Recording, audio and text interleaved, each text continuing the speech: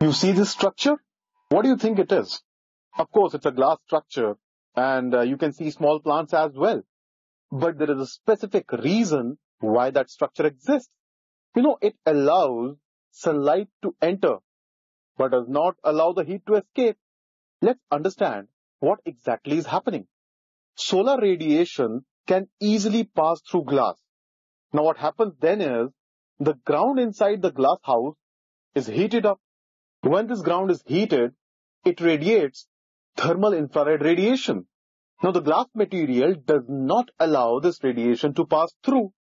So the heat is trapped inside the glass house. And because of that, the temperature inside the glass house rises. And there is a name for these glass houses. I'm sure you're aware of that. These are called greenhouses. And now you must be thinking about the greenhouse effect. What exactly is that? Sunlight causes the Earth's surface to heat up. Now, Earth's surface then radiates the thermal infrared radiation that I was talking about. Now, there are gases in the atmosphere like uh, carbon dioxide, nitrogen oxide, water vapor. They together ensure that this infrared radiation is not allowed to leave the atmosphere.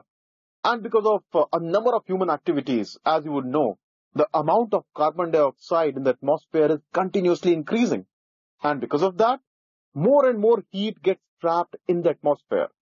And the atmospheric temperature goes up as it's been going up lately.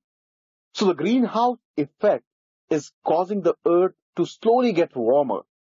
And this is precisely the phenomenon which is commonly known as, yes, global warming.